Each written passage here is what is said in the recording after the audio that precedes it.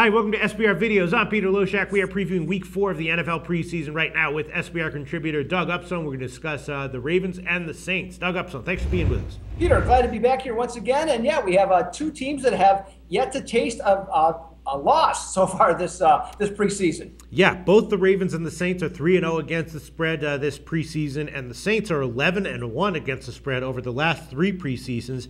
Uh, but they did lose their Week Four games over the last two preseasons. They just got the coverage because they were an underdog. Here, though, they're a favorite and they have they appear to be of taking uh, some money. The, the line is Saints minus three, juiced, and the total is 43 and a half. And uh, I think that uh, Ryan Griffin is going to be uh, playing most of the time at quarterback for the Saints, and Baltimore is going to have uh, Tyrod Taylor playing a bulk of the time um, for the Ravens. And, uh, you know, this is just a question of which team do you think, which team's backups do you think are going to be more effective here? I'm assuming that New Orleans is going to rest their defensive starters. And uh, if that's the case, then uh, I, I kind of like Tyrod Taylor to have a good game. He's played pretty well this preseason, very efficiently. And uh, the Ravens getting three points, that would be the side that I would uh, go to. What do you think, Doug?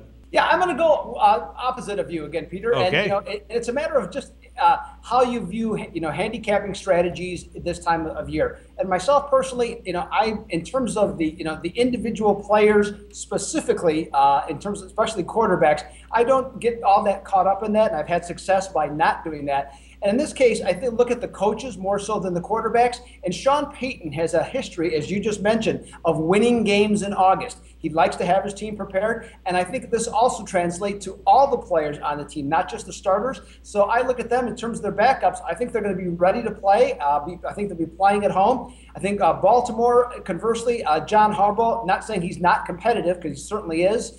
But in this case, I'm not sure that his team goes all out, maybe as New Orleans, and especially again before the home crowd. I will think I still like um, New Orleans minus the points in this spot. Well, we're going head to head once again, Doug Upstone. This is great. This is what makes you know exciting videos on YouTube here. Controversy. Two guys going head to head. All right, you're going to take the Saints minus three. I'm going to go with the Ravens at plus three. We shall see who comes out on top. Thanks so much, Doug.